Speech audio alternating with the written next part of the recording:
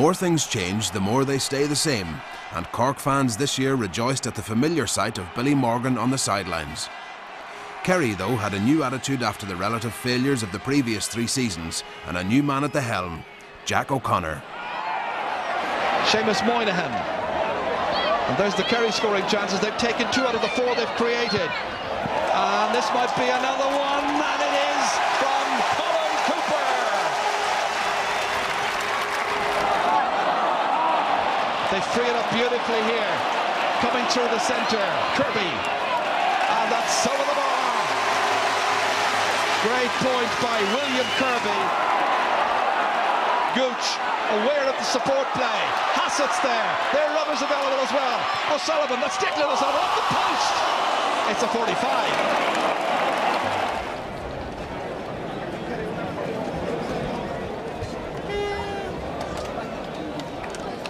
So the old enemy was beaten, but Kerry couldn't rest on their laurels. A new force had risen in Munster football. Limerick had reached their second Munster final in a row and were determined to end the kingdom's dominance. We're ready to go in the 2004 Munster Senior Football Final. Who will it be? Will it be Kerry for the 69th time, or will it be Limerick for the first time since 1896? And it's Stephen Lucey for Limerick. And that was a bit loose from Lucey. And here comes Liam Hassett, Colm Cooper. Here's a chance for Mike Frank Russell. Oh, what a great goal! Limerick's great start has been wiped out by a lethal forward on top of his game.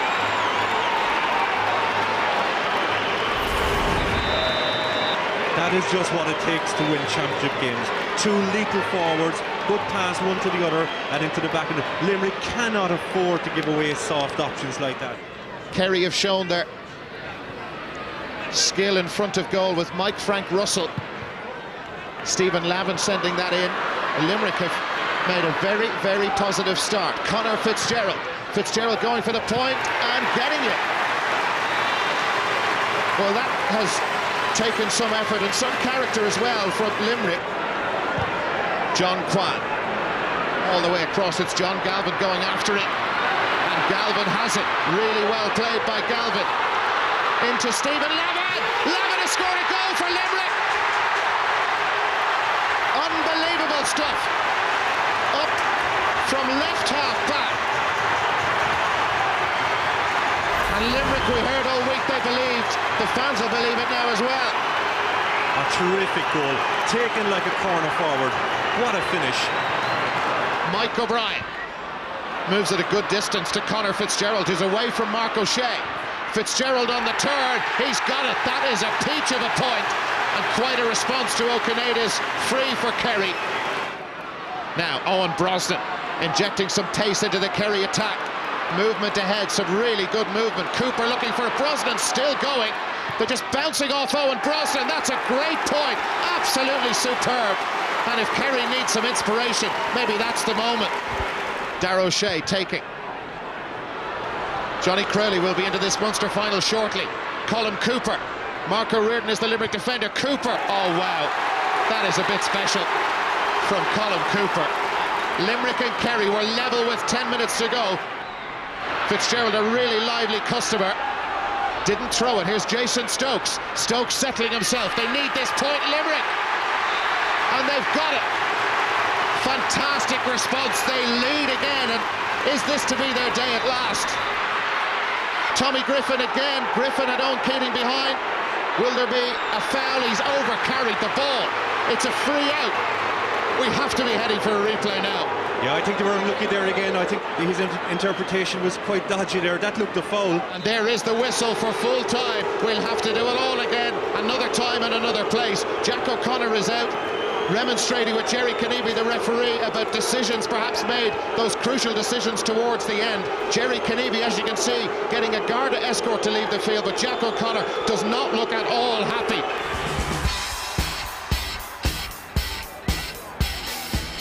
Limerick made a fantastic start to the replay, hitting the back of the net early in the first half. But soon Kerry were flooding all over the Shannon Siders, Eoin Brosnan making the breakthrough after a fine move. Even the defenders got in on the act, with Tomas O'Shea finishing neatly beyond Seamus O'Donnell. Limerick were left to lick their wounds whilst Kerry did what they do best. They lifted the cup.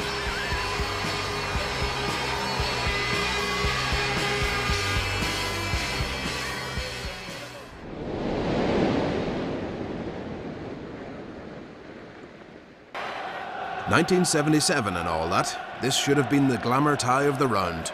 And indeed, Dublin started as if the 70s were only yesterday, creating goal chances aplenty. First for Jason Sherlock.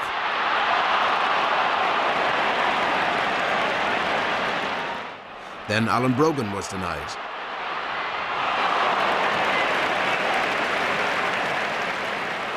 Then Ciarán Whelan went on a typical run without the typical finish.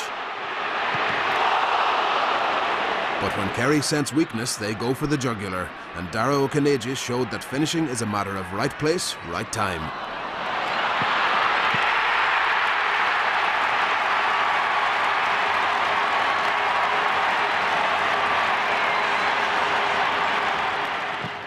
From there on in, the result wasn't in doubt, especially with Gooch Cooper in form.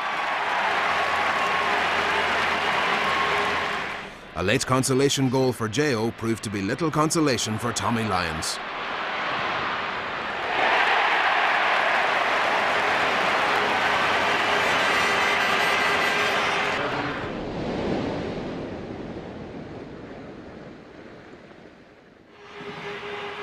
Derry were rank outsiders for this one, but Kerry didn't like playing against northern sides. Would the kingdom crumble? And it is going to be Derry who will play from right to left, win supported for the opening 35 minutes. Tony Davis alongside me is having a right good look around here to see any switches or changes as it is Derry who launched the first attack with Patsy Bradley. Referee says play away. Dara O'Shea does so, trying to bustle his way through, trying to establish mastery over Derry this time, unlike last year when Tyrone really established the early mastery and uh, got the scores. That's a great opening point by Dara O'Shea. Back to McBride again. Belted in with the left. Good lengthy delivery. It's a huge one in. But Paddy Bradley trying to make an angle for himself. Back towards Muldoon. Looking to tie it up and Enda Muldoon has done it. Great kick by Muldoon. Wonderful interplay between the two main target men for Derry. Back once again to Tomas O'Shea mopping up a lot of loose ball.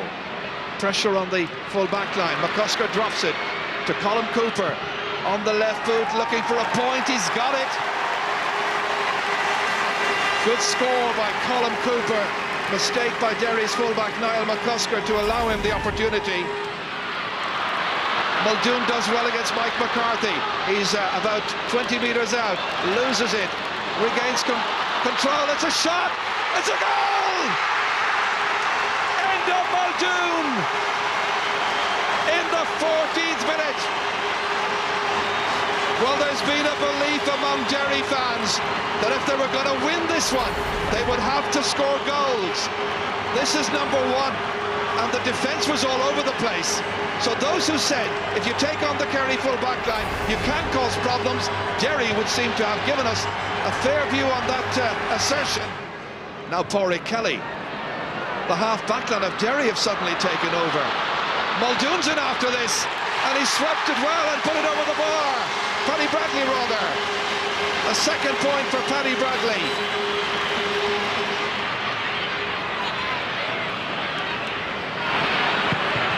Back with Paddy Bradley. A huge one, and it's over the bar. Third point of the match for Paddy Bradley. Nice ball inside here. Tomas O'Shea takes the shoulder and look at the Derry players around him. Fergal Doherty trying to get it out. It's one back by William Kirby, belting it, and he belts it over the bar. Kirby is the scorer. Eamon Fitzmaurice. Release back from Kirby. It's Galvin who's powering his way forward again. Tracked by Francis McEldowney. Trying to step out of the challenge. That's a nice kick by Galvin, and the teams are level. Third time they've been level in the match. Once again, it's Paul Galvin trying to skip by the attention of Francis McEldowney. Tomas O'Shea belting it from some distance. It's a great kick. Well, his adventurous spirit is paying off in the attack. They need him back also. Barry Gillis. Goal hasn't been under real threat so far. Galvin winning it back again for Brosnan to hit this one between the posts and over. Second attack of the second half for Kerry yields a score, and it's nine points to one four. Again, there's good control being exercised by Kerry as they work it down to Tomas O'Shea again, and he's kicked another point. Great play by the wingback. Two kicks at the target now by Tomas O'Shea from on Veltucht. Agus Rocholin Fakta Aga. Just a little bit of confusion as to what they're planning to do. Mark O'Shea for Eoin Brosnan. Nicely down for Darrow Canadian. A quick little one-two. Beautifully release to Mike Frank Russell, and it's over the bar. Great point from Mike Frank. Coming up to it again is Mike McCarthy. He's enjoying this roving role. Out again to Cooper, right into the corner from Mike Frank. Can he finish again here? He can. What a display of forward power in the second half by Kerry. Only 12 and a half minutes are gone and they're quite devastating.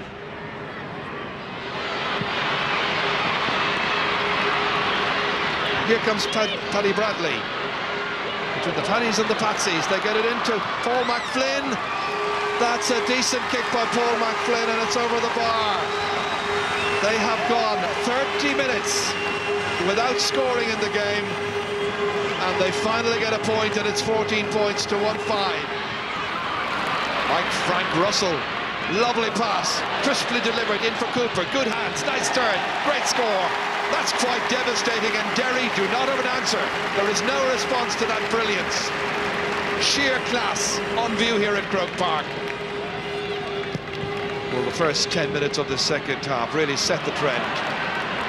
Kerry were not going to be beaten as Brosnan has his jersey pulled. Free is quickly taken to Declan O'Sullivan.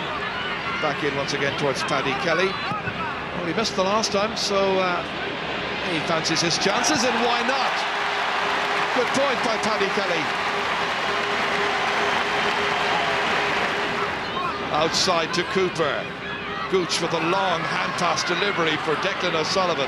Trying to round Sean Marty, does so in on the end line, trying to finish it off, trying to walk it all the way in. Is he giving it? He is. Declan O'Sullivan. For a moment, it looks like he was going to walk it all the way in. As we can see here, he takes on Sean Marty Lockhart, hops the ball. I, I think he might have taken too many steps with it, but he finishes it well and he where the goal stands. It's also his first shot on the target and a goal after 30 minutes of the second half. Bradley trying to set something up. Fergal Doherty trying to curl it. That's a good kick. Beautiful point by Fergal Doherty. The man from Bellaghy getting his first score here. There it is. Kerry have beaten Derry in the Bank of Ireland All-Ireland football semi-finals of Croke Park.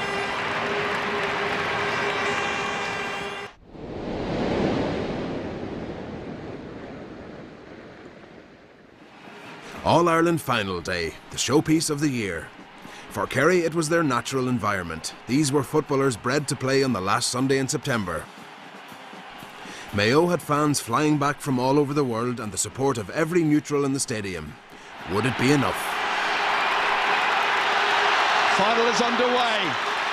And straight away, it is William Kirby of Kerry trying to set up the first attack Nice ball ahead towards O'Sullivan once more. And James Nallen is going to have to tie him down. Nallen gets a shoulder in.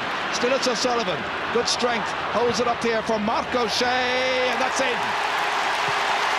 He set up the attack and he finished it as well. Great play by Mark O'Shea. Next into challenge was Liam Hassett. Linking up here with Ciarán McDonald. McDonald challenged by Fitzmaurice, about whom there was a slight doubt before the game. Good looking shot. It's a huge one. What a point. That's one to lift the crowd. That's one to lift the team. Ciarán McDonald from Crossmolina first kick, and it goes sailing over brilliantly. Look how he shrugged aside the attentions of Fitzmaurice and hit a belter. Two men to aim inside. It skips past them. It's in there for Alan Dillon. Here's Dillon. What a goal!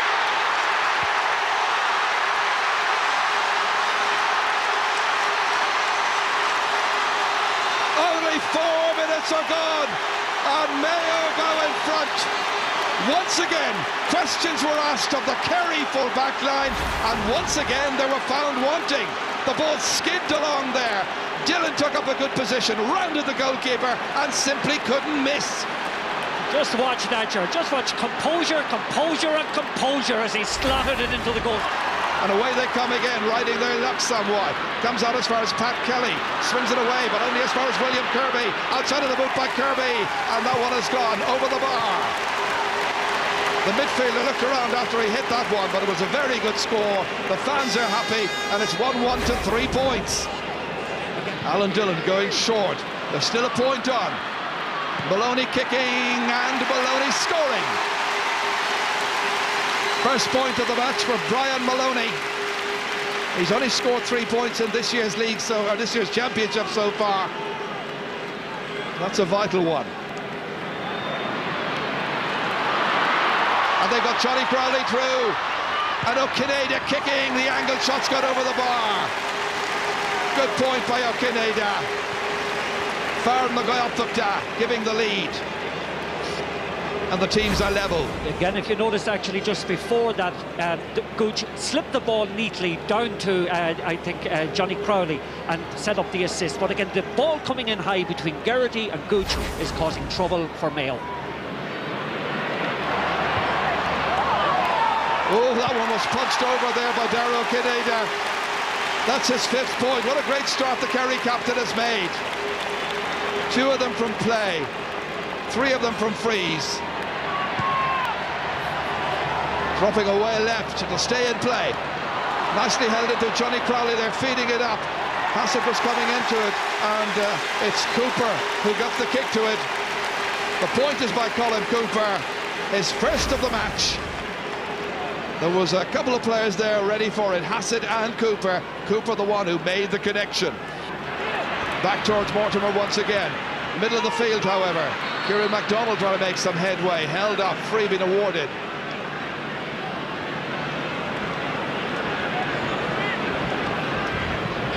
McDonald outside of the boot, swinging it in all the way in. It's a huge one. A second point of the match for Ciarán McDonald. One from play, one from a free, and each of the points from a massive distance out. It's an absolute incredible strike of the ball.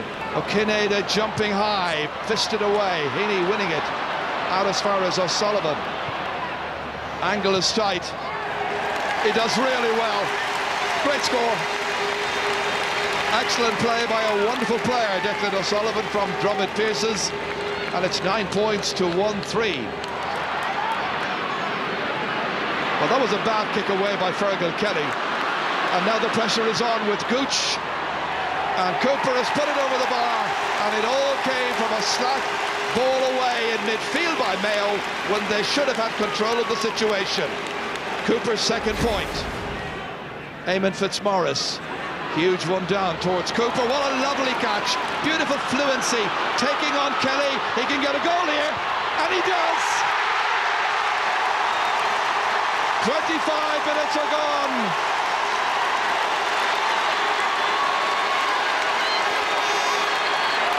That is his fifth goal in championship football. Gooch Cooper with his first of the season here, easily taking it past a hapless defence. He exposed their limitations, he ran through and belted it in past Peter Burke. Kerry started well, Mayo came back, but then it was all of Kerry, William Kirby and his colleagues enjoyed, enjoyed the lion's share of possession and the score at the break, Kerry 1-12, Mayo 1-4. Eventually it's Trevor Mortimer, he couldn't hold it. Over there supporting him was Michael Conroy. Nice ball in, here's a chance. Real opportunity for Conor Mortimer, and that one's over the bar. Might have ended up in the back of the Kerry net. Huge one down towards Johnny Crowley. And was that ball picked up by Dara Ó Cinnéide illegally? The referee was quite close to it. Inside towards Crowley again. Back it comes to William Kirby. Having a go at it, and why not? It's his second point of the match. Two from two from William Kirby. Johnny Crowley always coming, breaking it down for Gooch. Colm Cooper kicking. That's brilliant. Great Kerry play. He's got a goal and four. Well, when the ball went in, there was the understanding that Crowley could go in and contest. If he couldn't catch, he'd break, and Cooper would be available. He always is. This is it. It's been working before, and it's working again. Again, so simple, Jerry, but again, let's admire the skill of Colm Cooper that time. Some of the fans making their way off. They've decided that that's it at 115 to 1-5. Again, it's O'Sullivan turning, marking his slack. Turn back towards Galvin. Again, there's support play with Cooper. Off on the trademark solo run, taking on Kelly. Now a quick look up. There's a point here if he wants it. He does, why not? 1-5 for Colm Cooper and a real man of the match display. And the wonderful young Dr. Crokes player from Killarney. Well, certainly Colm Cooper has kept great interest, eh, has kept an interest in the game alive because the sense of contest has gone from it. But just watching him at the moment is worth the admission money alone, Joe. It'll be a real lesson for the likes of Michael Conroy here. If they can build upon it and if they can learn from the experience, that's the super point there. Kicked over. It's hard to get an All-Ireland. Kerry have shown that. They've been simply brilliant. Wonderfully expansive play, wonderfully expressive, and there again comes William Kirby. Bang on cue, in for his third. He got four in the league, he's three so far, and he's got another 10 minutes left to play. Why not? Huge one in. McGarrity trying to make headway, still trying to bustle his way through. Six men around him, comes back out. Great save that time by Diarmuid Murphy from the under-21, Michael Conroy. Oh, frustration. Agony indeed for the fans. It would have put a better final look on the scoreboard at the end of 70 minutes, but good save.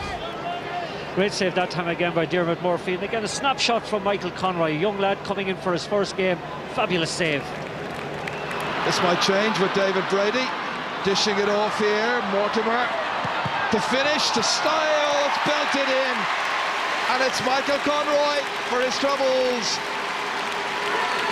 It's come in the last minute of the game, but the under-21 star, Michael Conroy, at the end of a very fine move by Mayo. David Brady offloading it outside here. Trevor Mortimer stepping by the challenge of Aidan O'Mahony, and it came back, and a good thump by Michael Conroy into the back of the Kerry net.